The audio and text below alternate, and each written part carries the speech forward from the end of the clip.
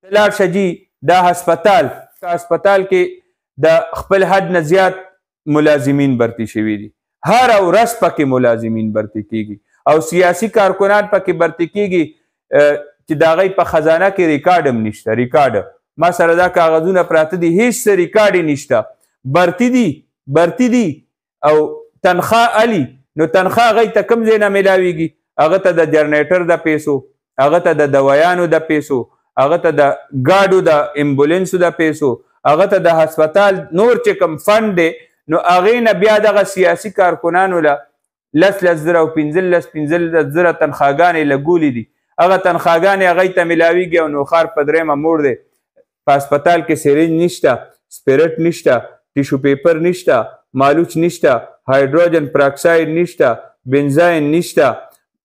پایوډین نشته پټای نشته نو هلته څه دي سرنج نشته ډریپ نشته د هسپتال دا صورتحال دی چې وختي پکې بجلي لاړه نو توره تیاره وه او جنریټر دپاره تیل نو تیل به کوم ځای نه راشي چې تا پکې برتي داسې کړې ده چې ته د هغوی تنخواګانې نه شي پوره کولی مړه دا نوښار پورې خندا نه ده دا د دې نوښار مشرانو پورې خندا نه ده نوښار کې زه وایم اکثر وایم چې دلته کې قیادت فقدان دی نو خار کې که قیادت شتم نو هغه خپلو کې ملو دي د نوخار حکومت اپوزیشن دا دواړه یو دي په دې لږ وخت کې خو مړه حکومتونه بدل را بدل شو حالت و دې بدل نه شو مکه شانتي زوړ حالت دی خو خپلو کې ملو دي کنه خپلو کې ملو دي نه اپوزیشن شته نه حکومت شته خو بس یو مافیا دا غ لګیا دا پیسې جوړي نو په خلکو باندې د خلکو ترجیح د خلکو فایده خلکو ته فایده ورکول دا ترجیح نه ده اصل شی چې دی نو هغه خپل مقصد خپل مفاد پوره کول دي تر کومې پورې چې دلته کې دا سیاسي قیادت دا را پاسېدلی نی